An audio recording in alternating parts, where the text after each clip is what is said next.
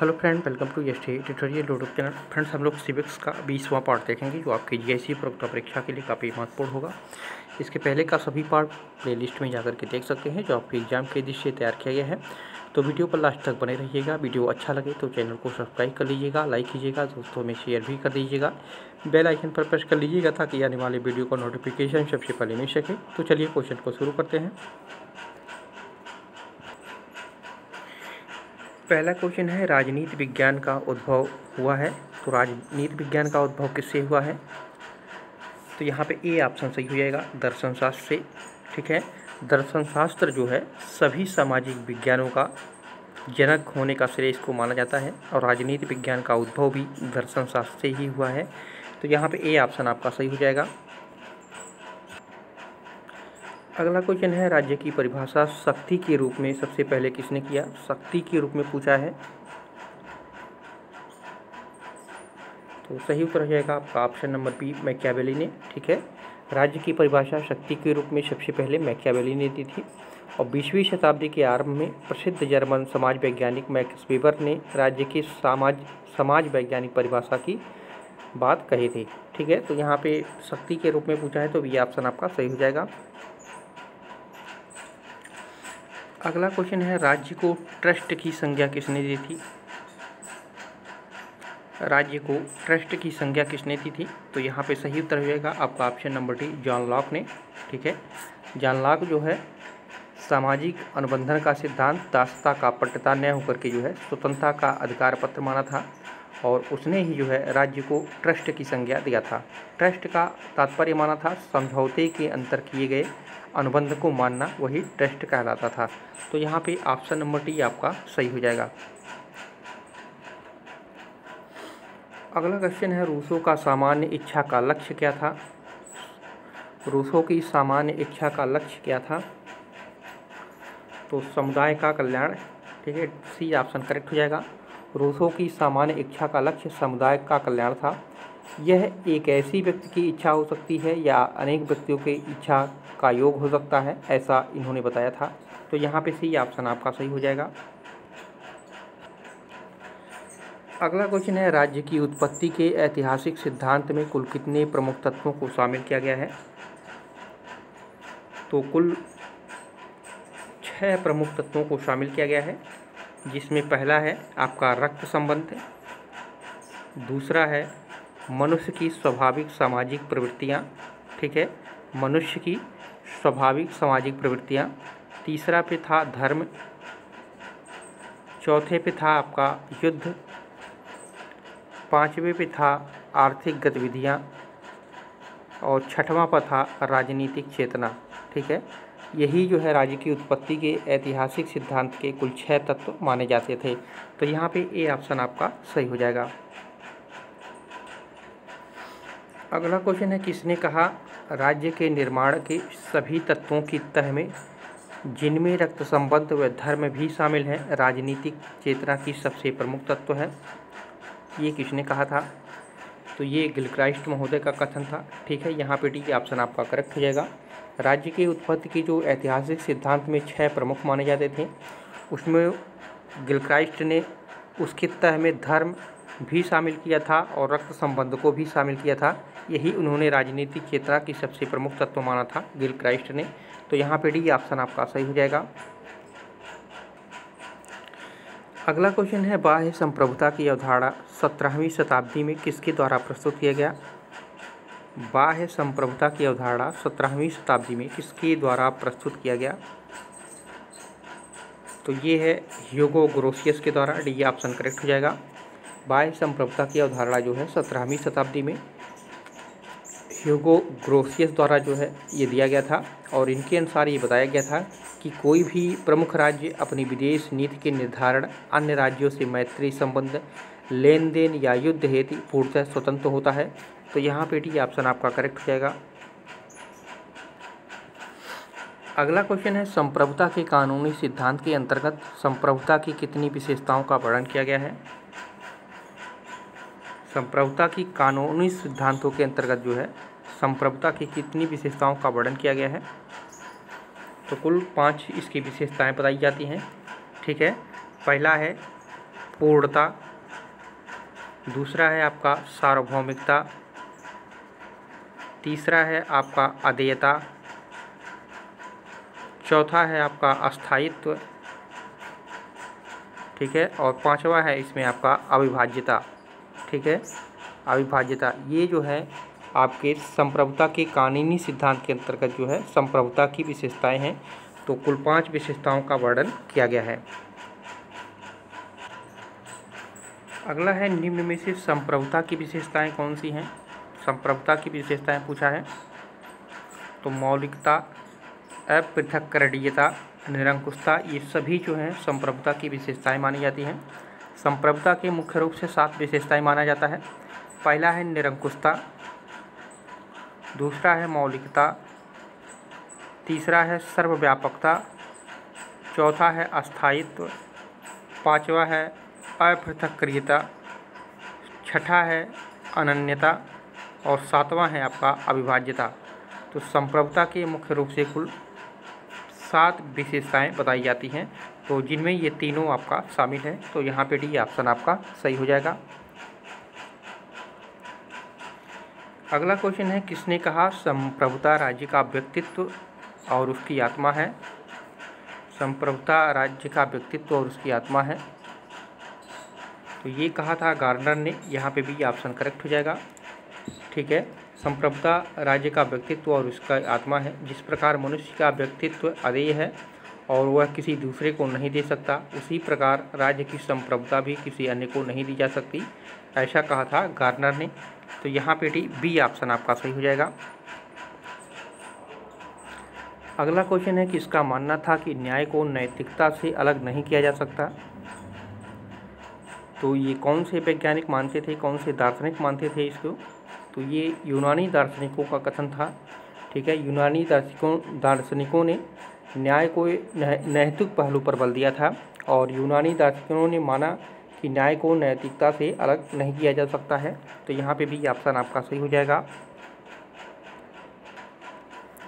अगला क्वेश्चन है, अधिकारों का प्राप्ति राज्य में ही संभव है, किसका मानना है?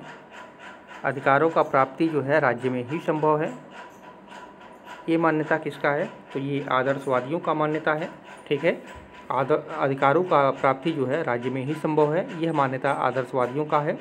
कांट हो गया हीगल फिक्टे ग्रीन बे, बे ब्रेंडले और बोसांके जैसे ये सभी आदर्शवादी विचारक थे। इन्होंने राज्य को सर्वोच्च संस्था मानते हुए मनुष्य के लिए स्वाभाविक और आवश्यक मानते हैं। तो यहाँ पे डी ऑप्शन आपका करेक्ट हो जाएगा। अगला क्वेश्चन है गांधी जी थे तो गांधी जी कैसे थे? तो गांधी जी दार्शनिक अराजा, अराजकतावादी थे, ठीक है? गांधी जी फांसीवादी, अराजकतावादी नहीं थे, बल्कि वो क्या थे?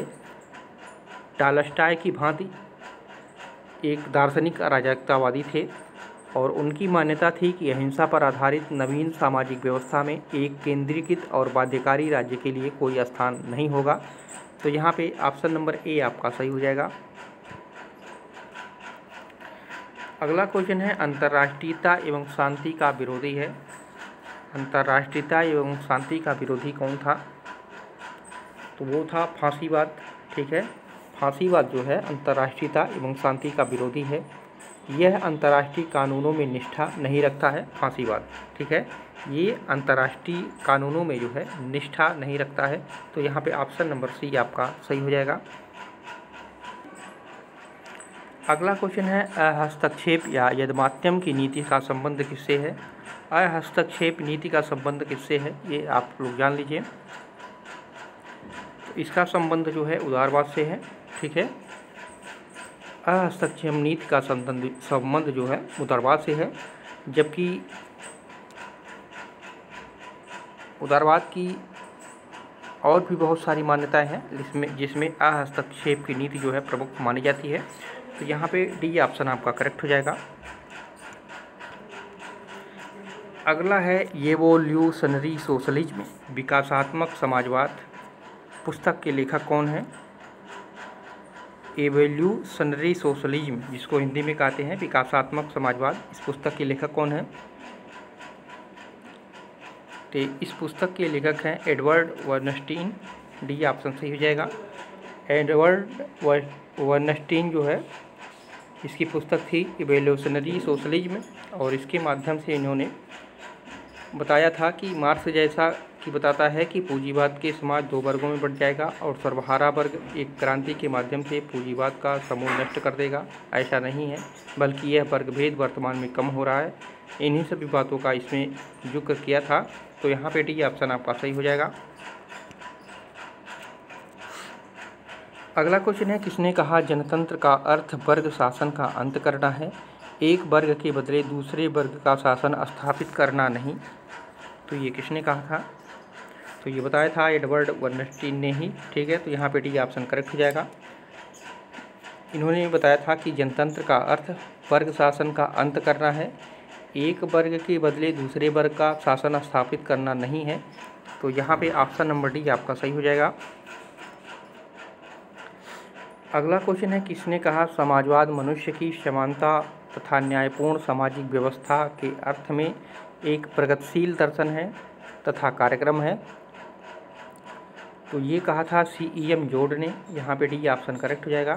सी ई एम जोड ने कहा था, समाजवाद मनुष्य की समानता तथा न्यायपूर्ण सामाजिक व्यवस्था के अर्थ में एक प्रगतिशील दर्शन तथा कार्यक्रम है। तो यहाँ पे ऑप्शन नंबर डी आपका सही हो जाएगा। अगला क्वेश्चन है, संविधानवाद का जनक किसको कहा जाता है? तो संविधानवाद का जनक जो है, वो अरस्तु है। यहाँ पे बी ऑप्शन करेक्ट हो जाएगा। ठीक है?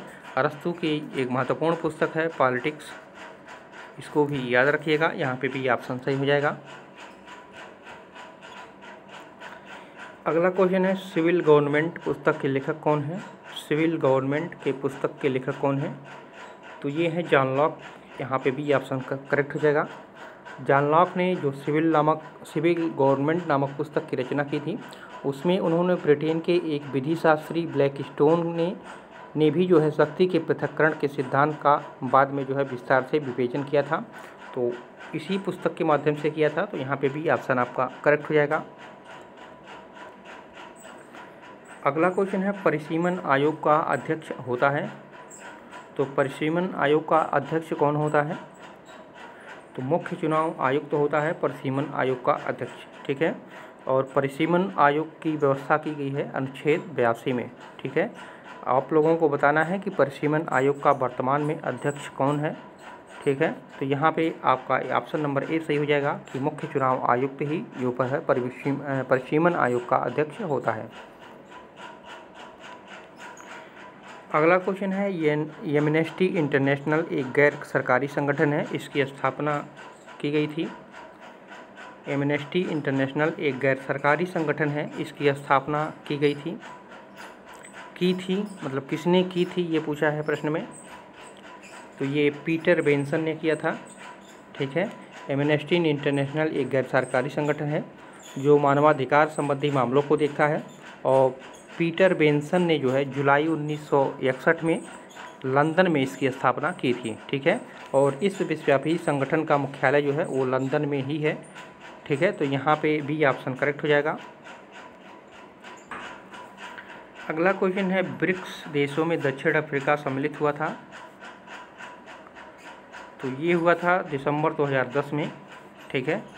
ब्रिक्स, ब्राज़ील, रूस, भारत और चीन ने मिलकर के जो है B R I C BRIC की स्थापना 2009 में किया था, ठीक है? जिसका उद्देश्य वैश्विक वित्तीय संस्थाओं में सुधार करना था। और दिसंबर 2010 में जो है, साउथ अफ्रीका इसमें मतलब दक्षिण अफ्रीका इसमें शामिल हो गया। इसलिए इसका सी यस बढ़ गया था तो पूरा नाम हो गया था ब्रिक्स ठीक है? पहले इसका नाम ब्रिक था, यस बाद में जो है जुड़ा था, जो साउथ अफ्रीका दिसंबर 2010 में जुड़ा था तब।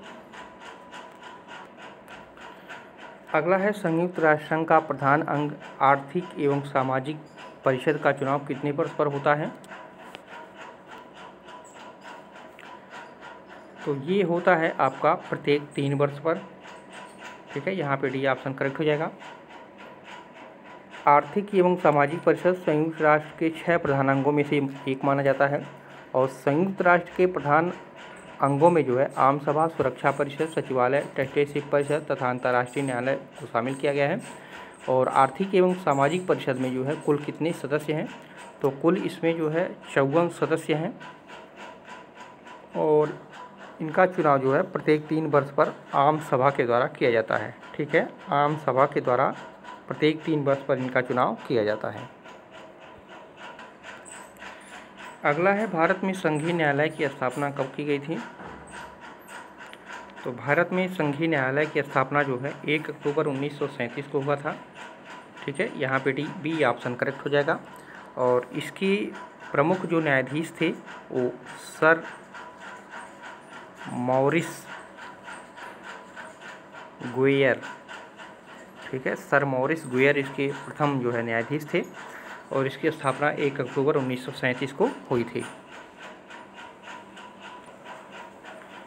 अगला है, यदि भारत में वित्तीय आपात अनुच्छेद 360 लगता है तो उसका कालावधि यानी समय कितने महीनों का होगा?